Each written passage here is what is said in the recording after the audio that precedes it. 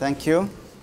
So, uh, in this talk, I'd like to speak about sheaves on graphs and some of their applications. Um, to begin this talk, I want to go not on sheaves on graphs, but go to more general sheaves on discrete structures. Um, so to motivate that, before we specialize to graphs, um, there was a sort of dream in the 1980s with the thesis of Michael Ben-Or that you might be able to solve P versus NP or other problems in complexity theory if you could concoct a sort of Boolean complexity theory cohomology. In other words, P versus NP is a question about Boolean algebra. And instead of attacking Boolean algebra, it's sometimes easier to attack algebraic algebra, where you study algebraic functions and you try to prove that certain algebraic functions can't be computed quickly. Um, so this was done um, notably by Michael Ben-Or for uh, higher cohomology classes. And it's still sort of a dream of mine from the 1980s that there might be such a theory. So I look for such a theory when I can. And if you're going to look for cohomology theories that might work in Boolean algebra, you're sort of naturally led to Grothendieck's work on Grothendieck topologies. There's a secret that few people know, which is that Grothendieck's work is actually very, very easy to understand when you start reading it. Get so general and um, so sort of all-encompassing that it's sort of a, natural place to look, uh, especially when you have very few open sets like you do in algebraic geometry or in Boolean algebra. So I became interested more in sheaves on graphs, um, particularly when I learned of the graph theoretic statement of the Hanna Neumann conjecture. And I still find more interesting things about sheaves just on graphs alone. I have some friends who are algebraic geometers, and they say, aren't graphs those kind of one-dimensional things? And I say, yeah. And they say, you're interested in graphs? I say, yes. There, there, there are some interesting invariants, and I think there's still a lot of interesting things to do with sheaves on graphs. So the simplest way of thinking of a sheaf on a graph, or one way is if you know algebraic, algebraic graph theory, it works with functions on the edges of a graph, functions on the vertices of the graph, and so on. And a sheaf on a graph simply means that instead of having one dimension for each edge and one dimension for each vertex, you can have different vector spaces associated to each edge and vertex. You might have zero-dimensional spaces, two-dimensional spaces, and so on. So in a sense, it's a sort of a generalization of algebraic graph theory. So I want to give a very quick high-level view of what a sheaf on a graph is, and I will quickly, quickly sort of run away from this notion. But just to sort of say, if you know sheaf theory, then essentially you know what a sheaf on a graph is. So if you have a graph, you can look at the lattice of subgraphs of the graph. That gives you a finite topological space if the graph is finite. And if the graph has no self-loops, that's exactly the space I'm looking at. So essentially, the open sets are the subgraphs of a graph. Now, things are a lot easier because on a finite topology, it's enough to look at the sheaf on the open irreducible sets, which, if you look far enough in SGA 4, you'll find almost any statement that you discover about graphs is somehow a very special case of something they do there. Um, so I will just quickly talk about presheaves on the open irreducible sets, where, which is essentially the union of the vertices and the edges. Uh, and just a warning, if G has self-loops, then you're not working with a topological space, but it's something that's very close to a topological space. So now I leave all the high level definition, all high level talk, and, and just get down to basics. So a sheaf on a graph g comma v is given by its values, which are just finite dimensional vector spaces, one for each edge, one for each vertex. Some can be zero. They don't have to be the same. They can be very different. And uh, you have for each edge and vertex that's incident upon the edge, you have a so-called restriction map, which is just a linear map of the associated vector spaces. Um, that's what a sheaf is. For each vertex, each edge, you have a vector space, and you have restriction maps from the edges to the incident vertices. So, algebraic graph theory you find in the structure sheaf for the graph, which is simply the most uh, simplest sheaf imaginable. It's just every vertex and every edge, its associated vector space is just the one dimensional vector space over the field, and all the restrictions are the identity maps. So you can start from algebraic graph theory, where you have just this sort of structure. For each edge and each vertex, you have a one dimensional space, and you form adjacency matrices, Laplacians, and so forth, um, just on this simple structure.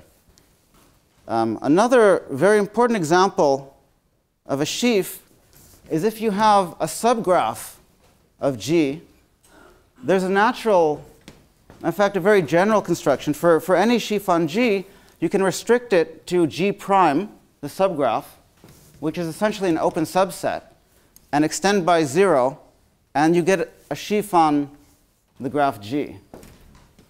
So the two sort of standard examples to work with as far as algebraic graph theory goes is if you have a graph G for any subgraph of G, you have a natural sheaf which is one dimensional on each uh, vertex and edge of the subgraph and zero elsewhere.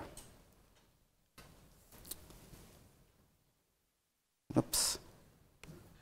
So one of the things that's, I think, relatively new in this kind of theory is that you don't just have one graph and one adjacency matrix. Most of my living I make studying one graph and one adjacency matrix. That's, that's fine. But the point is that if you have several sheaves on a graph, you can compare them by defining a morphism of sheaves in sort of the natural way. You have a map from all the edge spaces of the first to the second, all the vertex spaces of the first to the second, and you need to have the maps being compatible with the restrictions. So these ideas, whoops, that's not good. Oh, okay. It's back. So when you first start, uh-oh. Maybe I shouldn't do this. When you, when you first start looking at sheaf and sheaf theory and all these things, these, these ideas are kind of strange when you look at it in a discrete space. So it takes some getting used to. But one exercise, and I'll start from here maybe. One exercise is if you have a subgraph of a graph, then you have an inclusion map from the constant sheaf restricted to the subgraph into the graph. This is so-called open inclusion. Um, but the morphism does not go the other way. There's no morphism the other way. There's, of course, map of spaces back and forth, but it won't be compatible with the restrictions. So you just have to get used to the way these things work. So some of the basic things you work with in sheaves is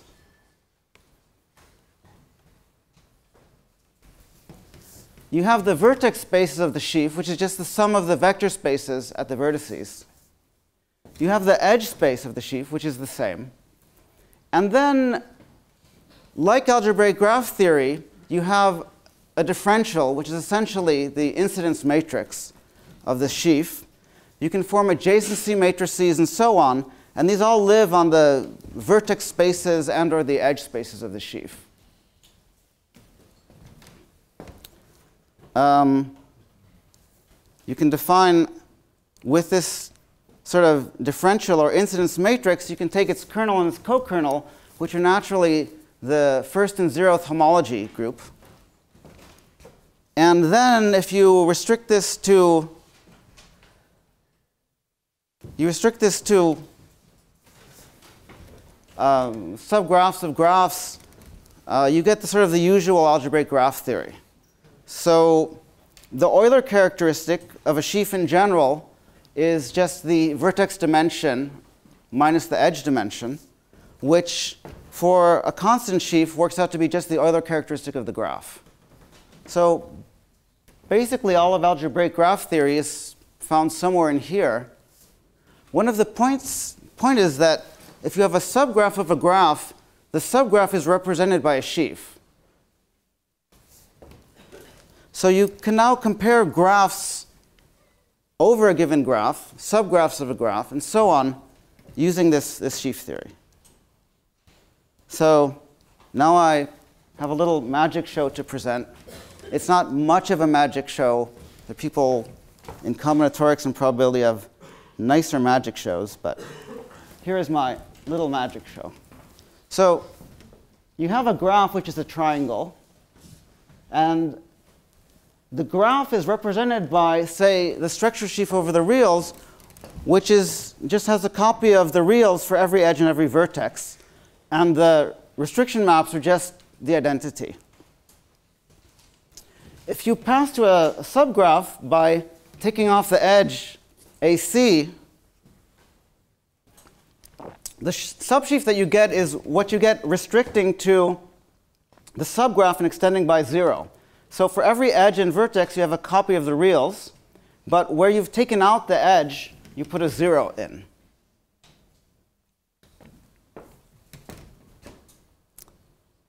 So now,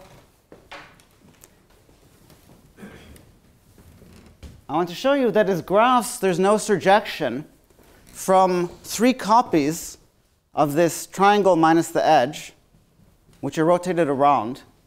There's no surjection onto two copies of the original graph.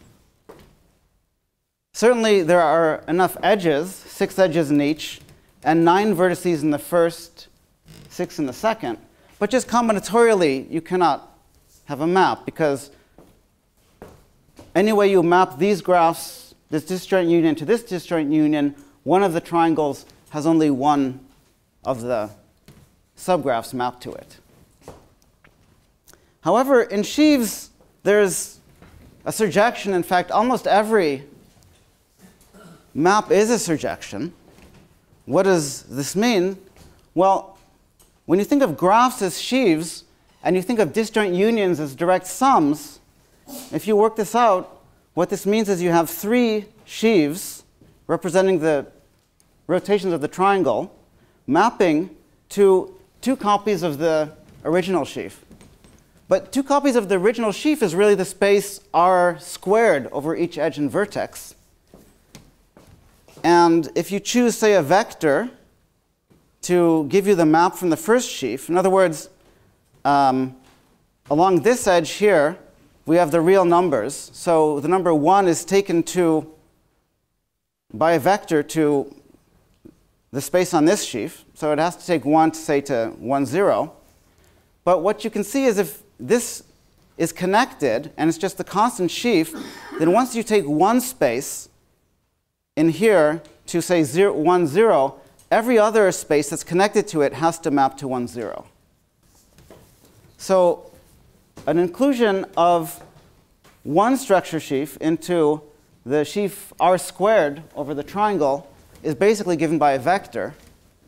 But now if you choose, well, three vectors at, at random, or a random matrix, then as long as these three vectors span R2, I claim that the map on sheaves that you get is a surjection on each edge and on each vertex.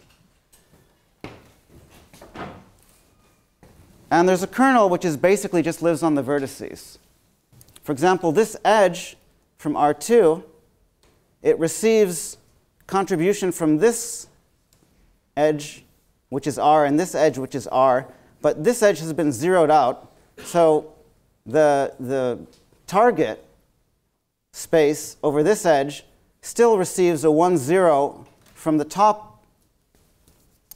subgraph and a 0, 1 from the middle subgraph. So that spans the space R2 and it's its surjection.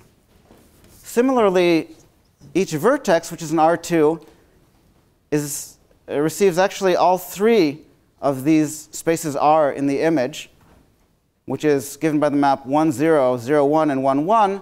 And so the kernel of this is a sheaf on the triangle, means that every vertex has a kernel where you take essentially one of this, one of this, and minus one of the bottom sheaf. The point of this, of course, you can talk about general morphisms of you know, whatever you want, or fractional maps of graphs. The point is that if you have a morphism of sheaves, then you can construct a kernel and you can apply the machinery of cohomology to this. That's the magic show. On graphs, no surjection. On sheaves, there is a surjection.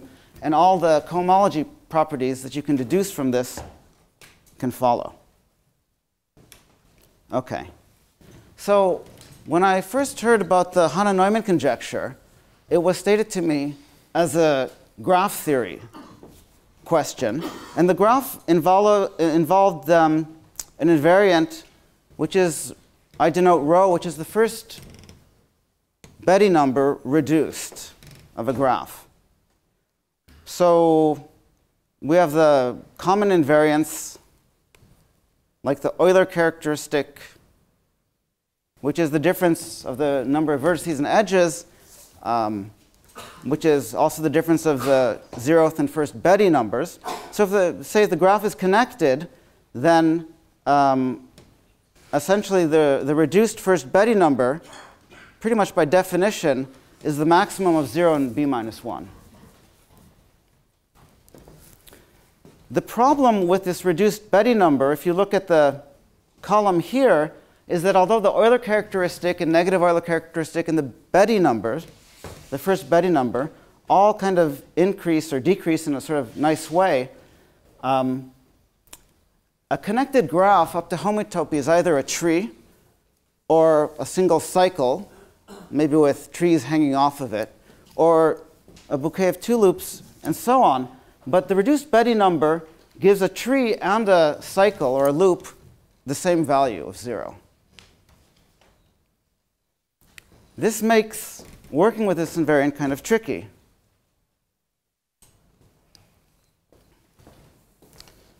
So now I want to forget about the incidence matrix or the differential. I want to forget about Betti numbers. I want to forget about L2 Betti numbers. I just want to, to define a certain invariant, which I'll call the maximum excess of a sheaf. It turns out the maximum excess is the L2 Betti number, the first L2 Betti number of a sheaf. But um, as Warren Dicks pointed out in a sort of 15-page version of my 100-page proof, you can just work with the maximum excess alone, ignore anything about homology, and, and just, just define the following invariant. For any sheaf, we define its maximum excess to be the maximum of negative the Euler characteristic over all subsheaves. In other words, you look at all subsheaf f prime of f, and you look at the dimension of the edge space minus the dimension of the vertex and that's what it is. In particular, if you look at the subsheaves of a structure sheaf, it's easy to see once you get used to this mechanism that the only subsheaves there are of a structure sheaf are in fact structure sheaves of a subgraph. And so it's easy to see that the first reduced Betti number of a graph is actually the same thing as the maximum excess of the structure sheaf. This is not the first way I thought of the first reduced Betti number, I thought of it in terms of homological interpretation, but this is sort of a short way and a shortcut through homology and Betti numbers of just defining an invariant of a sheaf which equals the first reduced Betti number. So given this definition, I want to now carefully highlight this stuff. And I want to claim that this invariant rho has a bunch of other properties. So the first property I claim is that if you have a short exact sequence, then there's an inequality in this maximum excess. If I told you that the maximum excess was some sort of homology Betti number, this would be clear.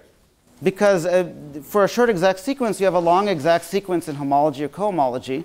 And then, of course, you get that the middle term invariant is bounded by the two invariants on the sides. Um, however, as pointed out by Warren Dicks, you can just do this directly without any homology or anything. Uh, the other claim is that this maximum excess is additive on direct sums because if you have a direct sum of sheaves and you have a subsheaf of the direct sum, it just means you're giving two subsheaves of each summand and adding them. Another property that again is tied to the fact that it's an L2 Betti number is that if you have a covering map of degree d, then this maximum excess scales. And again, if it's an L2 Betti number, you sort of know this automatically. So if you have a covering map of degree t, d from a graph on top to a graph below, then the number of vertices on top is d times that below, number of edges, d times that below. Euler characteristic multiplies by d. Um, the vertices and the edges have no topological meaning, because you can always subdivide an edge and so on, but the Euler characteristic does, and I claim this maximum excess is another fundamental invariant that scales exactly when you pass to covering maps. And when you pull back the sheaf on the graph below to the graph above.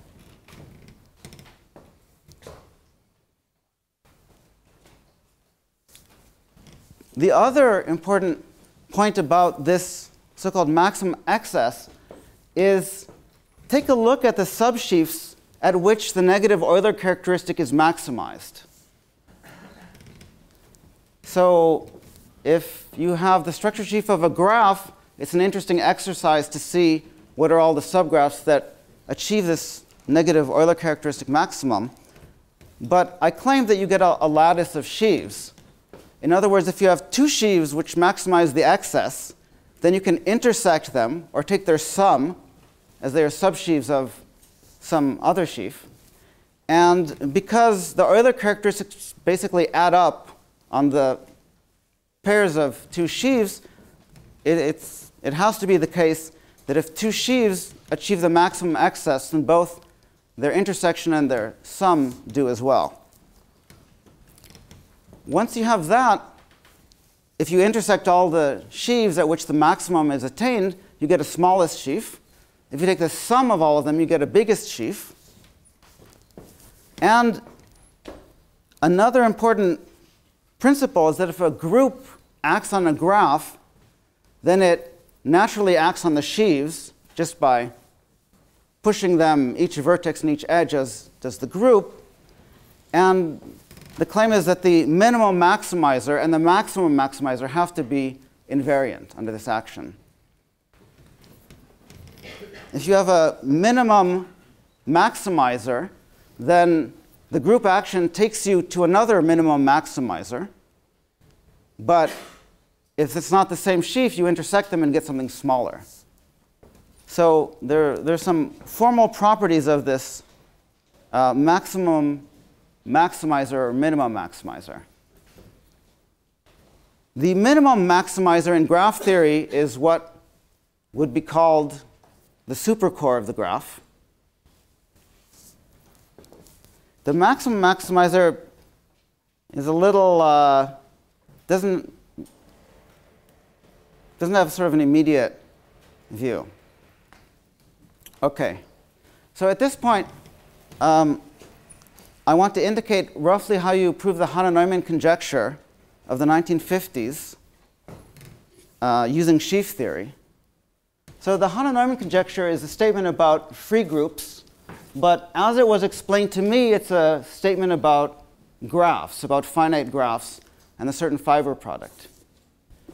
And if you lift this to an appropriate Cayley graph, the Hanna Neumann conjecture, or the strengthened form of it, just says the following.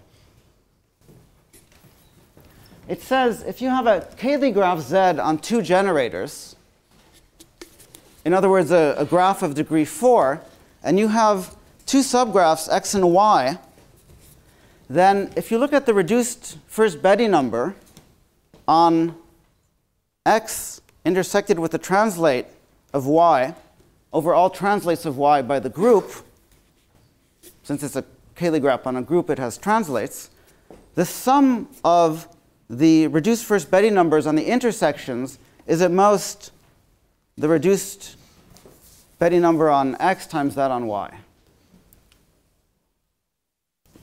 The translation from the two theorems is not something I'm going to really remark on. Um, I should remark that this inequality with a factor of 2, or, or this inequality with a factor of 2, was known um, for uh, essentially since the 1950s, or as soon as it was stated. Um, my first proof that I put on the archives was about, I think it was 90 pages to prove that the maximum excess was the L2 Betti number, and then another 60 pages to restate a lot of the terminology and, and prove this theorem. Uh, and within a week, Mineyev circulated a proof that used um, Hilbert modules and was a 20 page paper based on a 90 page paper.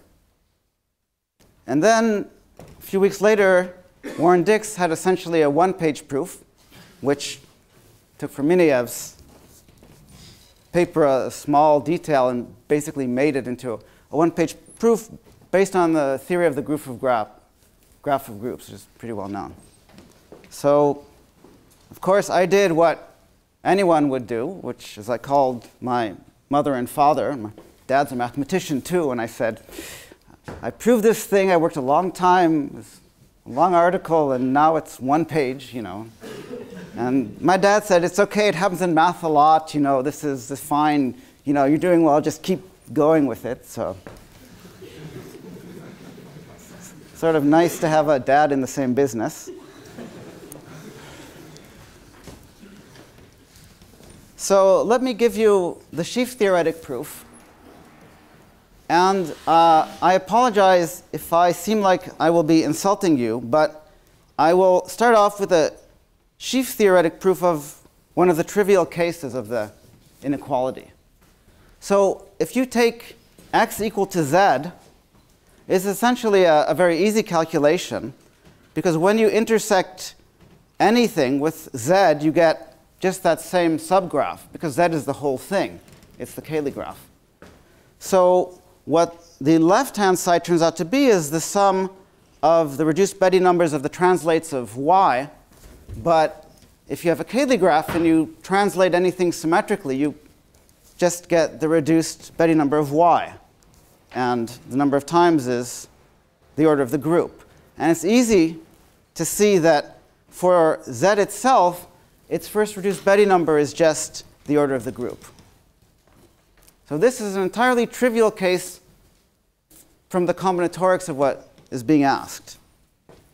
And to make matters worse, to add insult to injury, I'll just point out that the product of the first Betti numbers of y and z is the same thing as the first reduced Betti number of a certain number of copies of z, namely rho of y copies of z. So this is true with equality. And what you're essentially doing is taking the graph up here in red, which is just translates of y, and you're looking at its first reduced Betti number, and you're looking at a certain number of copies of Z, and you're claiming that there should be an inequality. In this case, it's an equality, but you claim that it's an inequality. So, to make matters much worse, I'm going to give a fancy schmancy proof of this trivial case based on sheaf theory. But what happens is then the entire conjecture follows from this long-winded proof of the trivial case. So how does this work? Well, if you take the sheaf that represents the copies of the translates of G, it's just the constant sheaf. Whoops. Uh-oh. Oh, good. It's just the constant sheaf with its translates, which is mapped to the constant sheaf of z to a certain power. And you can see that the numbers work out so that if you take a random map, just like in the magic, somewhat magic show, minor magic show, if you just take a random map of these sheaves, then it will be surjective. You can take the kernel and you can ask maybe the maximum excess of the kernel is zero. Because if this is supposed to be some sort of homological invariant, and you have if you have one graph and it should be less than the other graph in a certain measure, then if, it's, if there's a surjection, this would just follow from having the kernel having zero of this invariant. And then the second graph is automatically less than the third graph. So now I have an exclamation point down here. So I want to show you, first of all, if you can do this the general theorem follows at once. And again, with regards to my magic show, there's no general surjection of these as graphs. You can't map the translates of y to the power of z. But as sheaves, you take a random linear map and you can see that it's a surjection. Okay. So if you're not used to working with sheaves in this way, this might sound like, well, kind of like nothing, but um, the, the way the, the proof goes is that if you have indeed the structure sheaf of the translates of y that surject onto copies of z, and you have a kernel kappa, and if you can prove that its maximum excess is zero, then you can restrict this top exact sequence to an open subset, extend by zero. It's well known that that's an exact functor. So it leaves you with a sequence like this when you restrict to an open subset X. But now it just follows easily. This looks like what we want for the Hanna-Neumann conjecture inequality. If kappa sub x is a subsheaf of kappa, and the maximum excess is maximizing something over kappa, then over any subsheaf, the maximum will also be 0. So we also know that for an exact sequence, the maximum excess of the middle term is bounded by the sum of the maximum excesses, and hence it follows that if you apply this to um, the graphs, so the maximum excess of the structure sheaf is just the first reduced Betti number, and then uh, the Hanna-Neumann conjecture just drops right out. So this is, I like this because you spend a lot of time to understand a trivial case, which is always the first step of anything. But in this case, the trivial case is all you need. So how does the, the proof of this goes? Again, it's, it's not that hard um, sort of to describe what the steps are. And the only difficult step is maybe step number three. But th the way it goes is um, you're going to map the structure sheaf of translates of y to a power of the structure sheaf on z. So just take all the powers between 0 and rho of y and see what happens. So first of all, if the power of the structure sheaf on z is 0, then the kernel is just the entire structure sheaf of the translates of y. And that, by the same calculation I showed before, is just uh, the order of g times the first reduced Betti number of y. So you start at the power 0 with a certain number. It's also not difficult to show that each time you add y, you're essentially taking this phi and extending it, and thereby sort of cutting more into the sheaf. Um, and therefore, if you look at the minimum maximizer, when you cut into it, you get something smaller. And if you have a subsheaf of another sheaf, then the minimum maximizer of the subsheaf is contained in that of the big sheaf. So it's not hard to show that this strictly decreases in A. And then the symmetry argument, which is not as simple as it as I may make it seem here, but um, it's still sort of a general principle, is that this maximum excess is achieved by a sheaf. Now, is it plausible that this sheaf for generic phi has edge dimension 3 on one edge and edge dimension 5 on another edge? No, this shouldn't happen. It should have the same dimension on every edge, every translate of an edge, and every translate of a vertex. So in fact, I claim that this, these numbers are always divisible by g, and then it follows immediately that um, once you go to a power rho of y, that if you're always positive, you have to reach 0 by the power of rho of y. So that, that is the proof, essentially. Step 3 is a little bit subtle because you're working with generic y's and essentially you know, a, a moduli of, of phis, but um, it's not that difficult. And the, the principle is, seems quite reasonable. Okay. So now I want to stress applications. The following is an application that may not seem well motivated, but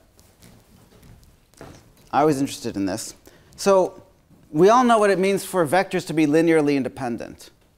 So there's a, a, generalization of this, which is if you have subspaces, A1 through A sub r of a vector space, you can speak of them being independent. And just like vectors being independent, you can write down a bunch of equivalent properties. So the basic idea is that you shouldn't have vectors A sub i in the spaces big A sub i, which are dependent, which, which sum to 0, unless all the vectors are 0. The other way of saying that is that if you take the natural map, which takes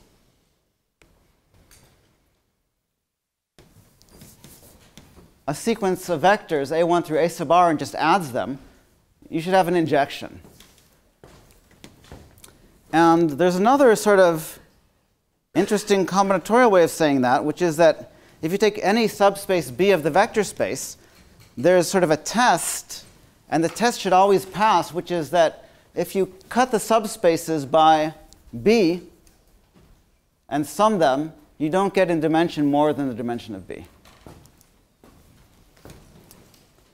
If you take n random vectors, they're independent. If you take the one-dimensional span of n random vectors, they're independent, typically. And if you take subspaces of the, uh-oh, better avoid that. If you take subspaces of appropriate size that are random, or generic, then they will also be linearly independent. Anything where you move to n plus 1 is forcibly dependent. So now I take this and I want to generalize it for a reason I won't explain now to what I call two independence. So in this notion, any two-n vectors that are chosen generically are two independent any random subspaces of appropriate size will be two independent. And the definition you can do again with a number of equivalent or seemingly equivalent ways. So the first way is to say for some or almost all two-dimensional vectors, I can solve the equation a sub i tensored with w sub i, and I should have no non-trivial solutions of that. What does that mean? It means that I have the sum of a sub i's times some weight, and then I have the sum of the a sub i's times some other weights. And I should have no non-trivial solutions. Or if you want, if I take the map from the direct sum into the square of the vector space, then this map should be injective. And then there's this interesting combinatorial definition, which is for each subspace B, you cut the vector spaces and you sum, and should never be more than twice the dimension of B. So I needed this for something with sheaves, and I thought, okay, this will take me about a month to solve. And uh, about four years later, I just managed to understand that although the first two you can easily show implies the third condition, that is to say, if the third condition is ever violated, if you get too much dimension, that you always have something in the kernel. But in fact, this third condition is not equivalent to the first two. So, to very briefly explain what sheaf theory has to do with this, I'll now sort of tell you the theorems about the L2 Betti numbers.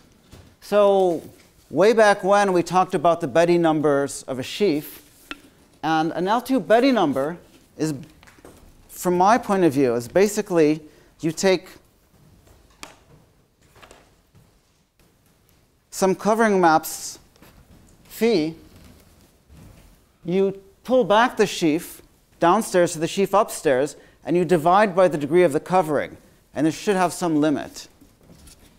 So the first the theorem really says that if the L2 Betti number exists, that is to say, if for a sheaf on a graph you pull it back by a cover, and then you take the limit as a directed set over the set of covering maps, where you divide the pullback sheaf by the degree of the cover, uh, then that equals the maximum excess.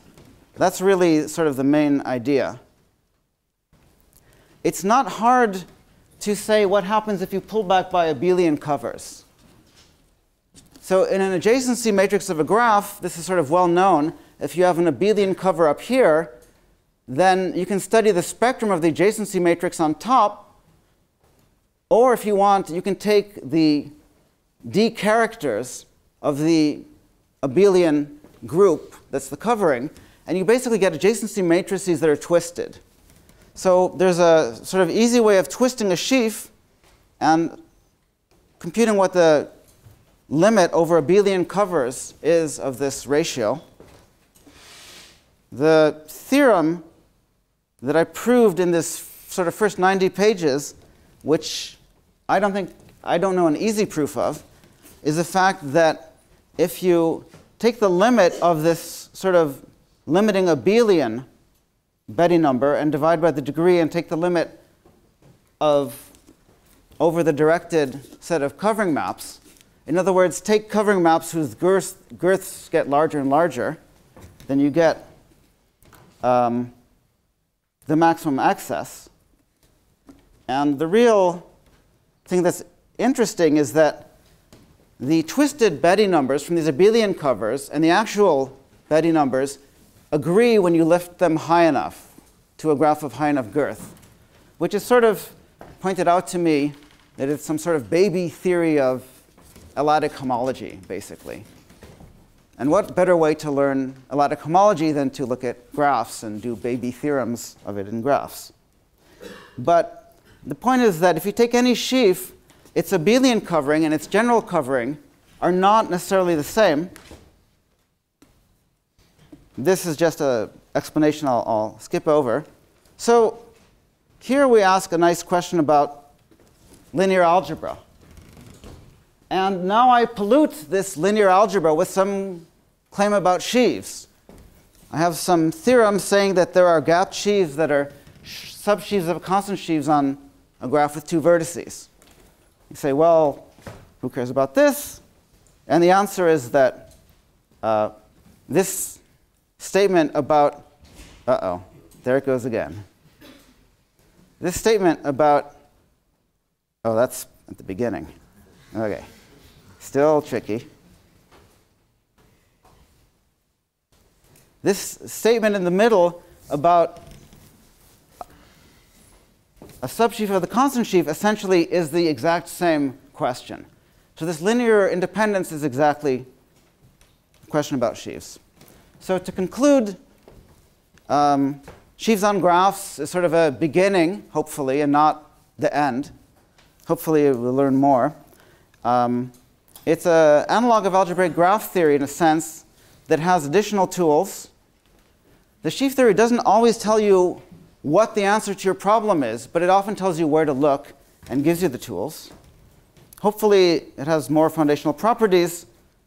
And if you live the dream of the 1980s about P versus NP, maybe it'll indicate what sort of homology, cohomology sheaf theories may work in discrete structures.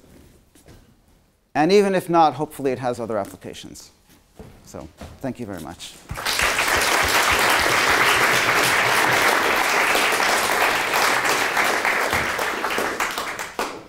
Thank you. Maybe uh, some questions? Ah, Laurent. Yeah. Yes. Oh, just for the other room. Yes. Have you tried it for different groups? For example, right-angled Artin groups. Is the same statement true?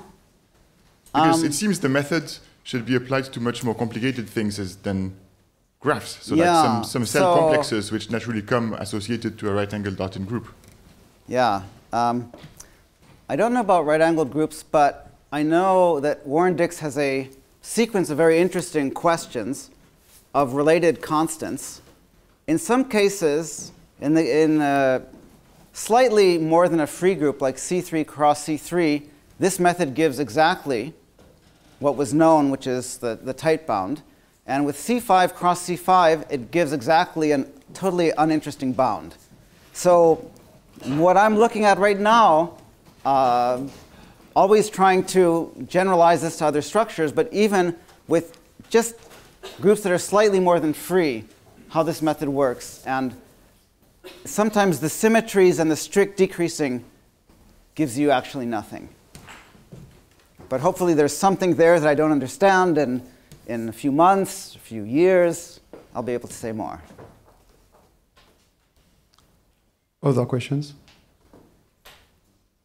Well, if not, let's thank uh, Joël Friedman again.